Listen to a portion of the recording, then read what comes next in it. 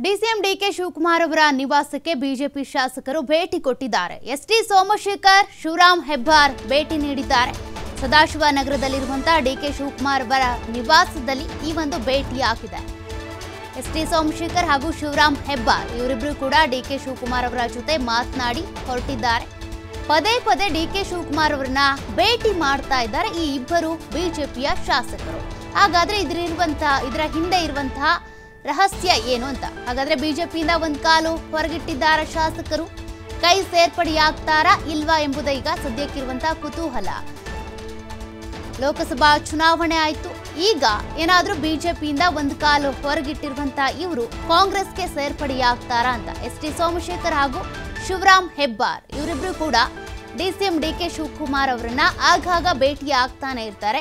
ಇವತ್ತು ಕೂಡ ಭೇಟಿಯಾಗಿ ಮಾತನಾಡಿ ಬಂದಿದ್ದಾರೆ. ಹಾಗಾದ್ರೆ ಯಾವ್ದ್ರ ಬಗ್ಗೆ ಮಾತನಾಡಿದ್ರು? ಏನಾದ್ರೂ ಕಾಂಗ್ರೆಸ್ ಸೇರ್ಪಡೆ ಆಗೋದ್ರ ಬಗ್ಗೆ ಚರ್ಚೆ ಆಯ್ತಾ? ಅನ್ನುವಂಥ ಪ್ರಶ್ನೆ ಕೂಡ ಈಗ ಶುರುವಾಗಿದೆ. ಹಾಗಾದ್ರೆ ಕಾಂಗ್ರೆಸ್ ಏನಾದರೂ ಸೇರ್ಪಡೆ ಆಗ್ತಾರಾ? ಅನ್ನುವಂಥ ಪ್ರಶ್ನೆಗಳು ಕೂಡ ಇದ್ದಾವೆ. ಎಸ್ ಟಿ ಸೋಮಶೇಖರ್ ಅವರು ಏನಿದ್ದಾರೆ? ರಾಜ್ಯಸಭಾ ಚುನಾವಣೆಯ ಸಂದರ್ಭದಲ್ಲಿ ಕ್ರಾಸ್ ವೋಟ್ ಕೂಡ ಮಾಡಿದ್ರು. ಹಾಗಾಗಿ ಅವರು ಕಾಂಗ್ರೆಸ್ ಸೇರ್ತಾರೆ ಅನ್ನುವಂಥ ಸಾಧ್ಯತೆಗಳು, ಚರ್ಚೆಗಳು ಆಗ ಆಗ್ತಾ ಇತ್ತು. ಈಗ ಸದ್ಯಕ್ಕೆ ಶಿವರಾಮ್ ಹೆಬ್ಬಾರ್ ಮತ್ತೆ ಎಸ್ ಟಿ ಸೋಮಶೇಖರ್ ಇಬ್ರು ಕೂಡ ಭೇಟಿ ಮಾಡಿರೋದ್ರಿಂದ ಡಿ ಕೆ ಶಿವಕುಮಾರ್ ಅವ್ರ ಜೊತೆಗೆ ಸಂಪರ್ಕವನ್ನ ಹೊಂದಿರೋದ್ರಿಂದ ಇಬ್ರು ಕಾಂಗ್ರೆಸ್ ಸೇರ್ತಾರಾ ಅನ್ನುವಂಥ ಪ್ರಶ್ನೆ ಎದುರಾಗಿದೆ. ಶಿವರಾಮ್ ಹೆಬ್ಬಾರ್ ಅವರು ವೋಟ್ ಮಾಡಿರಲಿಲ್ಲ. ಎಸ್ ಟಿ ಸೋಮಶೇಖರ್ ಅವರು ಬಿಜೆಪಿ ಬದಲು ಕಾಂಗ್ರೆಸ್ ಅಭ್ಯರ್ಥಿಗೆ ವೋಟ್ ಮಾಡಿದ್ರು ಅಂದ್ರೆ ವೋಟ್ ಕ್ರಾಸ್ ವೋಟ್ ಮಾಡಿದ್ರು ಅವರು. ಹಾಗಾಗಿ ಇವರಿಬ್ರು ಕೂಡ ಡಿ ಕೆ ಶಿವಕುಮಾರ್ ಅವರ ಸಂಪರ್ಕದಲ್ಲಿ ಇರೋದ್ರಿಂದ, ಆಗಾಗ ಭೇಟಿ ಮಾಡ್ತಾ ಇರೋದ್ರಿಂದ ಕಾಂಗ್ರೆಸ್ ಸೇರ್ಪಡೆ ಆಗ್ತಾರಾ? ಒಂದ್ ವೇಳೆ ಕಾಂಗ್ರೆಸ್ ಸೇರ್ಪಡೆ ಆದರೆ ಅವರಿಬ್ಬರಿಗೂ ಆಗುವಂಥ ಲಾಭ ಏನು? ಕಾಂಗ್ರೆಸ್ಗೆ ಆಗುವಂಥ ಲಾಭಗಳೇನು? ಇದರ ಬಗ್ಗೆ ಈಗ ಸದ್ಯಕ್ಕೆ ಚರ್ಚೆ ಆಗ್ತಾ ಇದೆ. ಈ ಬಗ್ಗೆ ಡೀಟೇಲ್ಸ್ ಕೊಡ್ತಾ ಹೋಗ್ತಾರೆ ನಮ್ಮ ಪ್ರತಿನಿಧಿ ಶಿವಕುಮಾರ್ ಫೋನ್ ಸಂಪರ್ಕದಲ್ಲಿದ್ದಾರೆ. ಶಿವಕುಮಾರ್, ಈಗಾಗಲೇ ಎಸ್ ಟಿ ಸೋಮಶೇಖರ್ ಹಾಗೂ ಶಿವರಾಮ್ ಹೆಬ್ಬಾರ್ ಇವರಿಬ್ರು ಕೂಡ ಬಿಜೆಪಿಯಿಂದ ಒಂದು ಕಾಲ್ ಹೊರಗಿಟ್ಟಿದ್ದಾರೆ ಅನ್ನುವಂಥ ಚರ್ಚೆ ಆಗ್ತಾ ಇತ್ತು. ಅದರ ಮಧ್ಯೆ ಡಿ ಕೆ ಶಿವಕುಮಾರ್ ಅವರನ್ನ ಆಗಾಗ ಭೇಟಿ ಆಗ್ತಾ ಇದ್ದಾರೆ. ಯಾಕೆ ಭೇಟಿ ಆಗ್ತಾ ಇದ್ದಾರೆ? ಕಾಂಗ್ರೆಸ್ಗೆ ಏನಾದರೂ ಸೇರ್ಪಡೆ ಆಗ್ತಾರಾ? ಸೇರಿದ್ರೆ ಕಾಂಗ್ರೆಸ್ಗೆ ಏನ್ ಲಾಭ? ಇವರಿಬ್ರಿಗೂ ಏನ್ ಲಾಭ ಅಂತ? ಎಸ್ ಟಿ ಸೋಮಶೇಖರ್ ಹಾಗೆ ಅರಬೈಲು ಶಿವರಾಮ್ ಹೆಬ್ಬಾರ್ ಇಬ್ರು ಕೂಡ ಬಿಜೆಪಿ ಶಾಸಕರು. ಡಿ ಕೆ ಶಿವಕುಮಾರ್ ಅವರ ನಿವಾಸಕ್ಕೆ ಇವತ್ತು ಕೂಡ ಭೇಟಿಯನ್ನ ಕೊಟ್ಟಿದ್ರು.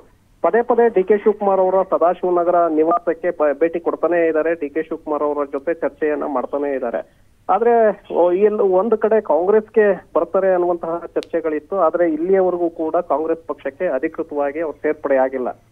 ಯಾಕಂದ್ರೆ ಕಾಂಗ್ರೆಸ್ಗೆ ಒಂದು ವೇಳೆ ಬಂದಿದ್ದೆ ಆದ್ರೆ ಅಲ್ಲಿ ಬಿಜೆಪಿಯಲ್ಲಿ ಶಾಸಕ ಸ್ಥಾನಕ್ಕೆ ಕುತ್ತು ಬರುತ್ತೆ ಅನ್ನುವಂತಹ ಆತಂಕ ಇಬ್ಬರು ಶಾಸಕರಿಗೆ ಇದೆ. ಸೊ ಹಾಗಾಗಿ ಅವರಾಗಿಯೇ ಉಚ್ಚಾಟನೆ ಮಾಡ್ಲಿ ಅನ್ನುವಂತ ನಿಟ್ಟಿನಲ್ಲಿ ಇಬ್ಬರು ಶಾಸಕರು ಕಾಯ್ತಾ ಇದ್ದಾರೆ. ಒಂದು ವೇಳೆ ಬಿಜೆಪಿ ಪಕ್ಷ ಅವರಿಬ್ಬರನ್ನು ಕೂಡ ಉಚ್ಚಾಟನೆ ಮಾಡಿದ್ದೆ ಆದ್ರೆ ಅವರು ಶಾಸಕರಾಗಿ ಪಕ್ಷೇತರ ಶಾಸಕರಾಗಿ ಮುಂದುವರಿಯೋದಕ್ಕೆ ಅವಕಾಶಗಳಿರುತ್ತೆ. ಒಂದು ವೇಳೆ ಇವರಾಗಿಯೇ ಬಂದಿದ್ದೆ ಆದ್ರೆ ರಾಜೀನಾಮೆಯನ್ನ ಕೊಟ್ಟು ಹೊರಗ್ ಬರ್ಬೇಕಾಗತ್ತೆ. ರಾಜೀನಾಮೆ ಕೊಡದೆ ಏನಾದ್ರೂ ಕಾಂಗ್ರೆಸ್ ಪಕ್ಷಕ್ಕೆ ಅಧಿಕೃತವಾಗಿ ಅವರು ಸೇರ್ಪಡೆಯಾಗಿದ್ದೆ ಆದ್ರೆ ಪಕ್ಷಾಂತರ ನಿಷೇಧ ಕಾಯ್ದೆ ಹಿನ್ನೆಲೆಯಲ್ಲಿ ಅವರ ಮೇಲೆ ಕ್ರಮಗಳಾಗತ್ತೆ. ಆಗ ಆರು ವರ್ಷಗಳ ಕಾಲ ಮತ್ತೆ ಅವರು ಚುನಾವಣೆಯಲ್ಲೂ ಕೂಡ ಸ್ಪರ್ಧೆಯನ್ನ ಮಾಡೋದಕ್ಕೆ ಅವಕಾಶಗಳಿರೋದಿಲ್ಲ. ಸೊ ಹಾಗಾಗಿ ಉಚ್ಚಾಟನೆ ಮಾಡ್ಲಿ ಅಂತೇಳಿ ಇಬ್ರು ಶಾಸಕರು ಕಾಯ್ತಾ ಇದ್ದಾರೆ. ಆದ್ರೆ ಬಿಜೆಪಿ ನಾಯಕರು ಅವರಾಗಿಯೇ ಹೋಗ್ಲಿ ಅನ್ನುವಂತ ನಿಟ್ಟಿನಲ್ಲಿ ಬಿಜೆಪಿ ನಾಯಕರು ನೋಡ್ತಾ ಇದ್ದಾರೆ. ಹೀಗಾಗಿ ತ್ರಿಶಂಕು ಸ್ಥಿತಿಯಲ್ಲಿ ಇಬ್ಬರು ಶಾಸಕರು ಇದ್ದಾರೆ ಅನ್ನುವಂಥದ್ದನ್ನ ನಾವು ಗಮನಿಸ್ಬೇಕಾಗತ್ತೆ. ಆ ನಿಟ್ಟಿನಲ್ಲಿ, ಆ, ಇಬ್ರು ಕಾಂಗ್ರೆಸ್ ನಾಯಕರ ಜೊತೆ ನಿರಂತರವಾಗಿ ಸಂಪರ್ಕದಲ್ಲಿದ್ದಾರೆ. ಪದೇ ಪದೇ ಡಿ ಕೆ ಶಿವಕುಮಾರ್ ಅವರನ್ನ ಭೇಟಿ ಮಾಡ್ತಾ ಇದ್ದಾರೆ. ಮುಂದಿನ ದಿನಗಳಲ್ಲಿ ಕಾಂಗ್ರೆಸ್ ಪಕ್ಷಕ್ಕೆ ಅಧಿಕೃತವಾಗಿ ಸೇರ್ಪಡೆಯಾಗುವಂತ ಒಂದು ಸಾಧ್ಯತೆಗಳು ಕೂಡ ಇದೆ ಸೌಖ್ಯ.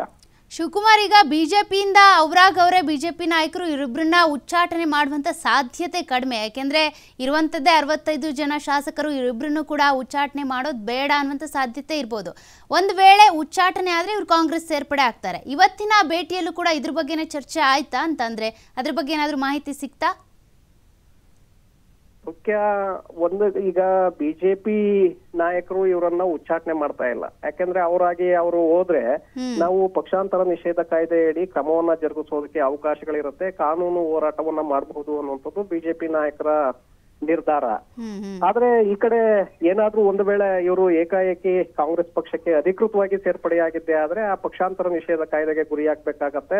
ಆ ನಂತರದಲ್ಲಿ ಆರು ವರ್ಷಗಳ ಕಾಲ ಎಲೆಕ್ಷನ್ ಅನ್ನು ಕೂಡ ಚುನಾವಣೆಯನ್ನು ಕೂಡ ಇವರು ಫೇಸ್ ಮಾಡೋದಕ್ಕೆ ಕಷ್ಟ ಆಗತ್ತೆ. ಆದ್ರೆ ಬಿಜೆಪಿ ನಾಯಕರ ಉಚ್ಚಾಟನೆಯನ್ನ ಪಕ್ಷದಿಂದ ಉಚ್ಚಾಟನೆಯನ್ನ ಮಾಡಿದ್ರೆ ಇವರಿಬ್ರು ಕೂಡ ಇಂಡಿಪೆಂಡೆಂಟ್ ಪಕ್ಷೇತರ ಶಾಸಕರಾಗಿ ಮುಂದುವರಿಬಹುದು. ಯಾವುದೇ ಚುನಾವಣೆ ನಡೆಯೋದಿಲ್ಲ. ಒಂದು ವೇಳೆ ಏನಾದ್ರೂ ಇವರು ರಾಜೀನಾಮೆಯನ್ನ ಕೊಟ್ಟಿದ್ದೆ ಆದ್ರೆ ಆಗ ಬೈ ಎಲೆಕ್ಷನ್ ನಡಿಬೇಕಾಗತ್ತೆ ಉಪಚುನಾವಣೆ ನಡೆಸಬೇಕಾಗತ್ತೆ ಉಪಚುನಾವಣೆಯಲ್ಲಿ ಮತ್ತೆ ಸ್ಪರ್ಧೆಯನ್ನ ಮಾಡಿ ಗೆದ್ದು ಬರ್ಬೇಕಾಗತ್ತೆ. ಸೊ ಅದು ಬಹಳ ಕಷ್ಟ. ಯಾಕಂದ್ರೆ ಮತ್ತೆ ಉಪಚುನಾವಣೆ ಆಗಿ ಉಪಚುನಾವಣೆಯಲ್ಲಿ ಸ್ಪರ್ಧೆಯನ್ನ ಮಾಡಿ ಒಂದು ವೇಳೆ ಗೆದ್ರೆ ಓಕೆ. ಏನಾದ್ರೂ ಪರಾಭವಗೊಂಡಿದ್ದೆ ಆದ್ರೆ ಆಗ ಶಾಸಕ ಸ್ಥಾನ ಕೂಡ ಹೋಗುತ್ತೆ. ಈ ಒಂದು ಆತಂಕ ಇಬ್ಬರು ಶಾಸಕರಿಗಿದೆ.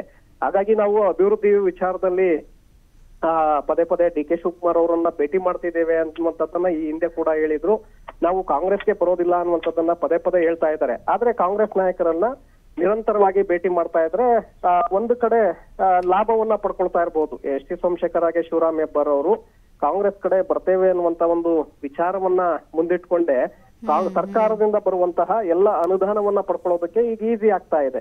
ನಂತರ ಮುಂದಿನ ದಿನಗಳಲ್ಲಿ ಅಂದ್ರೆ ನಾಲ್ಕು ವರ್ಷ ಕಳೆದ ನಂತರದಲ್ಲಿ ಮತ್ತೆ ಕಾಂಗ್ರೆಸ್ ಪಕ್ಷಕ್ಕೆ ಅಧಿಕೃತವಾಗಿ ಸೇರ್ಪಡೆಯಾಗುವಂತ ಒಂದು ಚಿಂತನೆ ಕೂಡ ಅವರ ಮನಸ್ಸಲ್ಲಿರ್ಬೋದು. ಆದ್ರೆ ಕಾಂಗ್ರೆಸ್ ನಾಯಕರನ್ನ ಪದೇ ಪದೇ ಭೇಟಿ ಮಾಡ್ತಾ ಇರುವಂತದ್ದು ಸಾಕಷ್ಟು ಕುತೂಹಲಕ್ಕೆ ಎಡೆ ಮಾಡ್ಕೊಡ್ತಾ ಇದೆ ಸೌಖ್ಯ.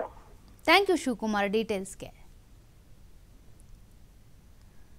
ಅಂದ್ರೆ ಶಿವಕುಮಾರ್ ಹೇಳಿದಂತೆ ಈಗಾಗಲೇ ಶಿವರಾಮ್ ಹೆಬ್ಬಾರ್ ಮತ್ತೆ ಎಸ್ ಟಿ ಸೋಮಶೇಖರ್ ಇಬ್ರು ಕೂಡ ಕಾಂಗ್ರೆಸ್ಗೆ ಆಗುವಂತ ಆಸೆಯಲ್ಲೇ ಇದ್ದಾರೆ. ಬಟ್ ಅವರಾಗ ಅವರೇ ಪಕ್ಷವನ್ನ ಬಿಟ್ಟು ಬಂದ್ರು ಅಂತ ಅಂದ್ರೆ ಶಾಸಕ ಸ್ಥಾನವನ್ನ ಕಳೆದುಕೊಳ್ತಾರೆ. ಹಾಗಾಗಿ ಪಕ್ಷದಿಂದ ಉಚ್ಚಾಟನೆ ಮಾಡಿದ್ರು ಅಂತ ಅಂದ್ರೆ ಪಕ್ಷೇತರ ಶಾಸಕರಾಗಿ ಮುಂದುವರಿಬಹುದು, ಆ ಅವಕಾಶ ಇರುತ್ತೆ. ಹಾಗಾಗಿ ಕಾದು ನೋಡುವಂತಹ ತಂತ್ರವನ್ನ ಶಿವರಾಮ್ ಹೆಬ್ಬಾರ್ ಮತ್ತೆ ಎಸ್ ಟಿ ಸೋಮಶೇಖರ್ ಬಳಕೆ ಮಾಡ್ತಿದ್ದಾರಾ ಅಂತ. ಆದ್ರೆ ಡಿ ಕೆ ಶಿವಕುಮಾರ್ ಅವರನ್ನ ಭೇಟಿ ಮಾಡಿದಂತ ಸಂದರ್ಭದಲ್ಲಿ ಇಬ್ರು ಕೂಡ ಹೇಳ್ತಾ ಇರುವಂತದ್ದು ನಮ್ಮ ಕ್ಷೇತ್ರಕ್ಕೆ ಅನುದಾನದ ವಿಚಾರವಾಗಿ, ಅನುದಾನ ಬಿಡುಗಡೆ ವಿಚಾರವಾಗಿ ನಾವು ಮಾತುಕತೆ ನಡೆಸೋದಕ್ಕೆ ಹೋಗಿದ್ವಿ. ಅಥವಾ ಪಕ್ಷ ಸೇರ್ಪಡೆ ಸಂಬಂಧಪಟ್ಟಂತೆ ಯಾವ ಚರ್ಚೆ ಕೂಡ ಆಗಿಲ್ಲ.